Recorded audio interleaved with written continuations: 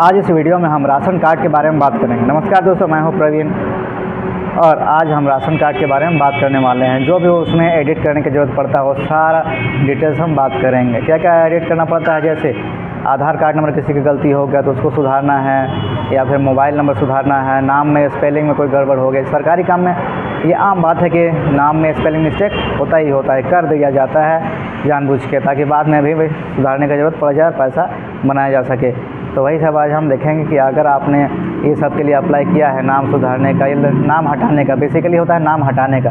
कोई लड़की का अगर शादी हो गया और अपने मायके ससुराल चली गई तो वहाँ भी उसके नाम पे राशन कार्ड बनाने के लिए पहले मायके से राशन कार्ड से उनका नाम हटाना पड़ता है। तब जाके अपना ससुराल से वो नया राशन कार्ड बना सकती है। तो सबसे पहले हटाने का स्टेटस जानने का तो फिर अगर हटा चुके हैं ये सारा कुछ, या फिर जोड़ने का है तो आप अपना स्टेटस कैसे चेक करने सकें कि आपका जो अप्लाई किया है, हटाने की या जोड़ने का नाम तो पी एस ऑफ़िस में जमा होगा ब्लॉक में तो पेंडिंग है या स्टेटस अप्रूव हो गया है कहाँ पर है सारा कुछ आप चेक कर सकते हो। तो कैसे चेक करेंगे?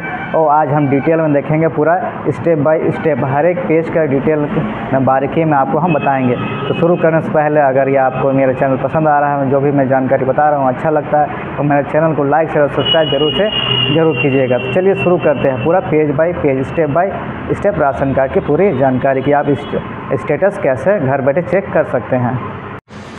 सबसे पहले आप गूगल ओपन कर लीजिएगा उसमें आपको टाइप करना है ration card ration card Hindi में या इंग्लिश में भी टाइप कर सकते हैं। टाइप करते ही आपका जो अगला पेज में पहला लिंक खुलेगा वो खोल लेना है। आपका हर स्टेट का खुल सकता है। जब भी राशन कार्ड टाइप कीजिएगा उसमें स्टेट का नाम लिख दीजिएगा। तो वहाँ पे उस स्टेट का पहला लिंक खुल जाएगा। तो पहला लिंक खुल जो खुलता है उसमें क्लिक कीजिएगा। क्लिक आ, क्लिक करने के बाद अगला पेज जो खुलेगा उसमें देखिए राइट साइड में न्यू करके लिखा हुआ है। एकदम येल्लो कलर में। येलो कलर में न्यू करके लिखा हुआ है, उसमें क्लिक करना है। उसमें क्लिक करने के बाद चार पाँच ऑप्शन देंगे।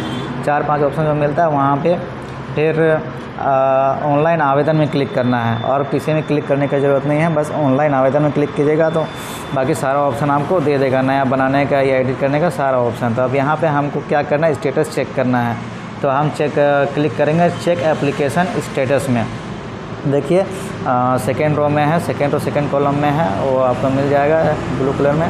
फिर यहाँ पे आपको राशन कार्ड नंबर भरने के लिए मिल रहा है या एक्नॉलेजमेंट नंबर और साथ में क्या चाहिए सारा कुछ भरेंगे तो फिर आपका स्टेटस चेक करने वाला खुल जाएगा। तो चलिए भरते हैं, राशन कार्ड नंबर हमको पता है तो राशन कार्ड नंबर हम भर दिए। थोड़ा ब्लैक कलर कर दिए ताकि प्राइवेसी लीक ना हो, देखिए। राशन कार्ड नंबर भरने के बाद कैप्चर डालें। कैप्चर डालने के बाद देखिए, ये खुल गया स्टेटस पूरा यहाँ search by ration card number पूरा डिटेल बता देगा कि राशन कार्ड किसके नाम पे है मोबाइल नंबर कहाँ का स्टेटस पूरा एड्रेस बता देगा। उसके बाद जैसे नीचे आएँगे तो लिस्ट ऑफ़ फैमिली मेंबर्स जितना फैमिली मेंबर्स का लिस्ट है, चढ़ा हुआ राशन कार्ड में सारा ना बताएगा। नीचे रिक्वेस्ट डिटेल्स बाई बेनिफिट मतलब लास्ट में देखिए रिक्वेस्ट डिटेल्स बाय बेनिफिशरी यहाँ पे आपको स्टेटस बता देगा। आपने अगर कोई सी चीज़ एडिट करने के लिए अप्लाई किया है तो यहाँ लास्ट में आपका उसका स्टेटस बता देगा कि आपका एप्लीकेशन कहाँ तक पहुँचा है। रिजेक्ट हो गया है पेंडिंग है या अप्रूव हो गया है, यहाँ पर बता देता है।